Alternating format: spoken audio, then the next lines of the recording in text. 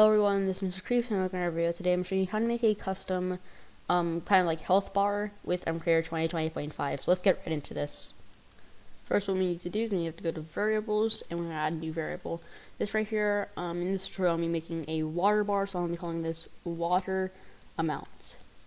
We're going to make this a number variable type and I'm going to make it player lifetime because just like the health bar whenever you die it resets and the hunger bar whenever you die it resets and hit OK.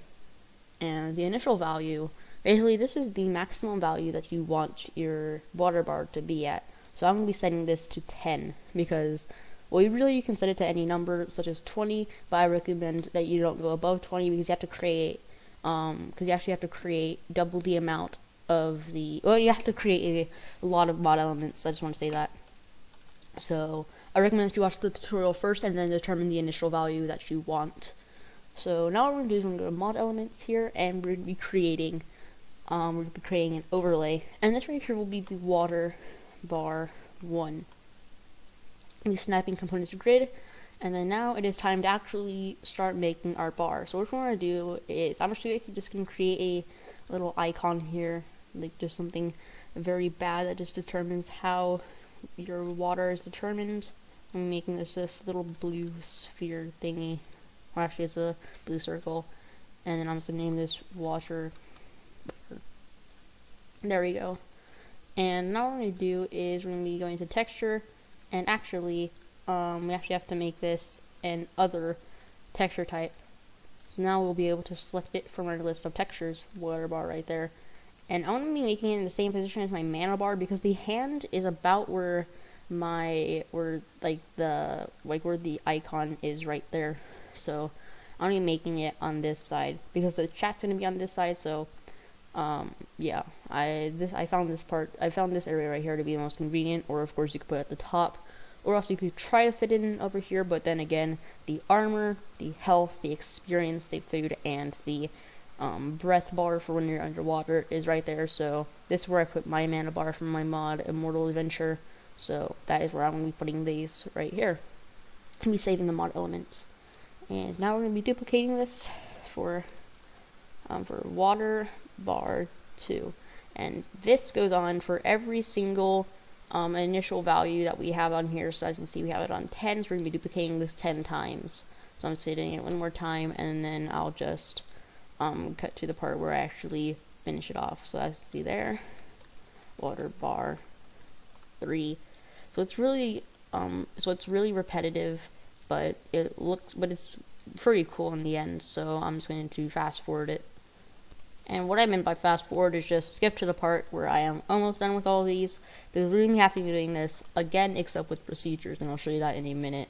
But right now, I am almost done with these. A water bar 8. Wait, whoops. I do have 8 on here. Let's see, yep, I have 8. And then this right here will be water bar 9. We're almost there. I can feel it. And then the final water bar, which will be water bar 10. So there we go. Now we can just select our image and save mod element. So now what we're going to do is we're actually to be creating the conditions for these to appear. But before we do that, we have to make the rendering priority appear to highest. And also to save some time, you can just make it highest for the first one and then duplicate it along the way. There we go. Almost there. Because it won't actually work if you don't have it on highest. So make sure that the priority is highest for all of them. Now we can save all our mod elements. There we go.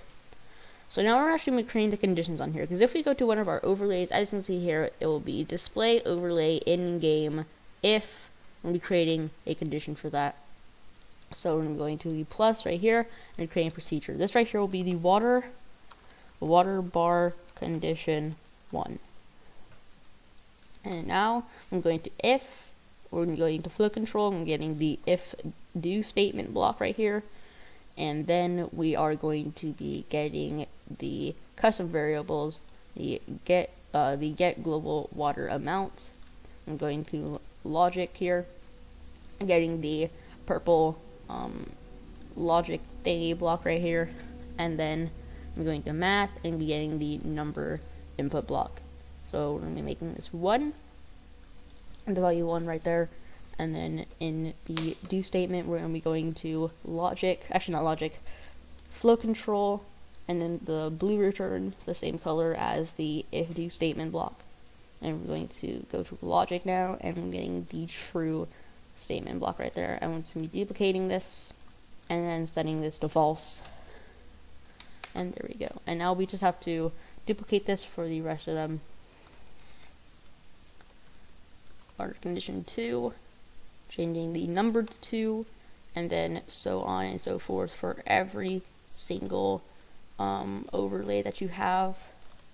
Or of course you can make it um, a lot simpler, such as 5, or you can even make it 100, but that would be 200 mod elements right away, and we haven't even gotten into the parts where we actually um, change the stuff. So this requires a, a lot of procedures, um, but it is fairly quickly because it is all just duplicating this. So yeah. And yes, don't worry, I realized I misspelled all the other ones. Or not really all the other ones, but I misspelled most of them. I just realized that. And and it actually does not matter what you name these unless it is an item and stuff. Um, just like how I named that water bar condition. Meant to make that water bar condition 10. But as long as you know what they are, then that's really okay because the player will not see the name of the overlay or the name of the procedures. Usually they won't. So now we're going to our water bar 1, going to display overlay in game, and water bar condition 1. And we're going to be matching these up for every single one of them. Just like this. And now because I know that you don't want to watch me just clicking a ton, uh, I'll just skip through this part. And now, as you may know, if you play Minecraft, um, you know that there's some type of empty um, that there's some type of empty texture for these. So that is what I'm doing now. So this right here is pretty simple actually. Um, we actually should have done it a different way for this, but I definitely recommend that you do this a different way than what I did. Um, so I'm just gonna be doing uh, this right here. I'm making the gray out texture here, and then this right here will be uh, other texture, water bar empty. There we go.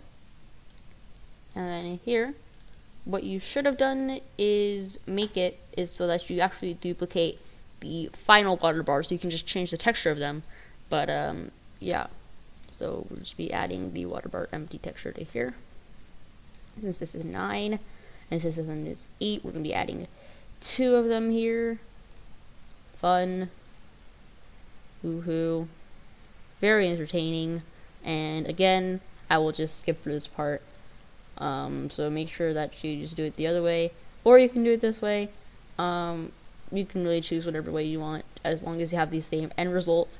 Everything should hopefully work okay. So after we get the, um, so after we finish up the water bars, now we're making the zero water bar value. So I'm going to here, the water bar, I'll be calling this water bar zero. There you go. And then now I'm changing all the textures of these. And I actually duplicated the water bar 10. Sorry. I actually duplicated the water bar 10 just so I can, oh, just so I only have to change all the textures just like this. Like this. And then right here. Here. And then just do that for all of them. And almost there almost. There we go. And then I'm to be duplicating the water bar condition uh, for any of these. I'm just making the I'm to duplicate the 10 again. And this right here will be water bar condition 0 there we go. And now we can set this to the 0 value and change the condition right here. And there we go. So now we have our working water bar. Well not yet because we still have to have a way to get water. So that is what and that is why we're going to be creating a brand new food item. So here we can make it so that so here we're making uh, I don't know maybe like um I no. I'm trying. I'm trying to think of a food item. There, there's already a water bottle. So how about bottle of water? Boom, bottle of water. And now it's time to create a very beautiful texture. Uh, let's see. Uh, actually, I'm gonna make it from scratch.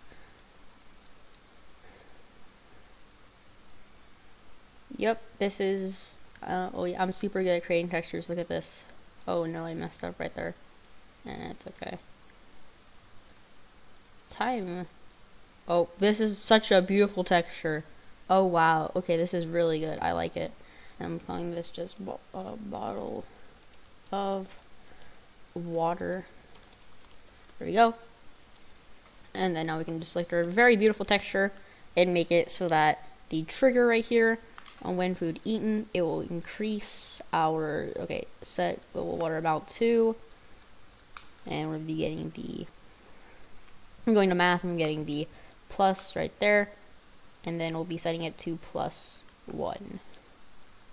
But also we have to actually add something else to here. We have to test um, what value the water bar is at, excuse me. Um, so we have to, so what we have to do is test for this. So we're actually getting this and these blocks from there. And now we're going to be getting the equals right here. We're Dragging the one right there and the um, global water amount. And we're making this 20. If not, so we have to get the not block right here and actually set the equals to more than 20. Actually, it has to be more than 19. So there we go. So yeah, this is how we set it. Um, it is pretty simple. And then now all we have to do is just make something that actually dehydrates us or removes the water. So I'm going to bottle of air. And then time to create another super good texture. This right here will be called the bottle of air. There we go. Now it's time for the most beautiful texture you've ever seen in your entire life. Changing it to white. Oh yeah, this is good. I'm actually gonna add some gray to the bottom of it. Oh wow. Yep, that that yep, that looks amazing. and then now I can select our texture and now um, I'm actually going to what I'm going to do is I'm actually going to edit the procedure right here There you go. There we go. And then I will make it so that it subtracts one of them if the value is not less than 1. So there we go. And then I'll set the bottle of air to the correct procedure. And now everything should work, so I'll, I'll showcase this in game. So yeah and now this is loading. And hopefully if everything worked the bar should be gray. That is a problem.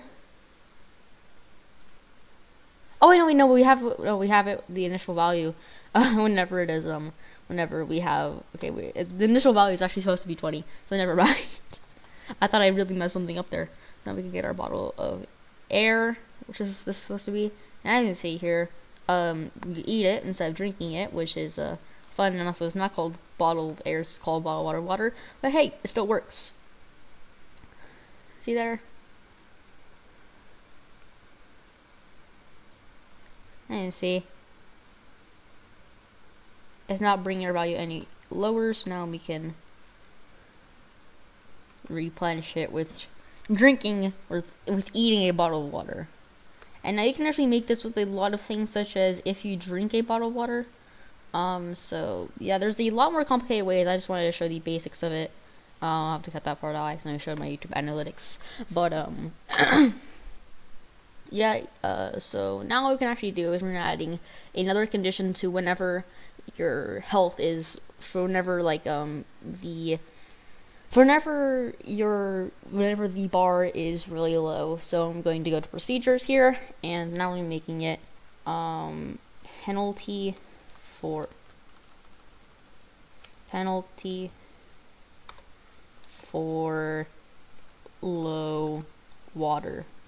Perfect. And then now what I'm doing is I'm going to go to if and the if do statement here the water.